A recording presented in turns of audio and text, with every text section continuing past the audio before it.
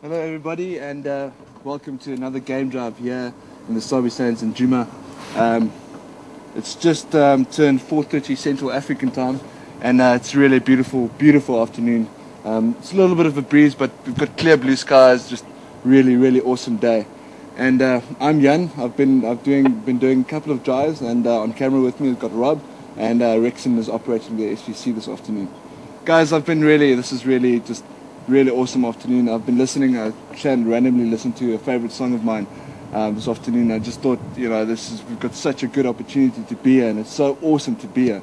And uh, yeah, I don't want to spend a lot of time talking about that, but just I decided let's go out and just enjoy this and really, really enjoy this afternoon.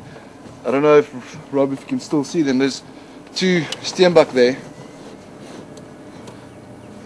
Looks like a male and a female monogamous species because they'll always stay together. If they're a breeding pair, they'll definitely always stay together.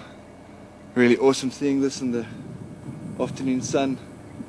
Can't see Rob. I think that looks like a female. Yep, I think so, yeah. for sure. It's kind of rare to see them in the. It's kind of rare to see them in the open here. Really enjoy looking at them. The other one's just to the left of that one. But uh, I don't know. It's a little bit behind a little tree there.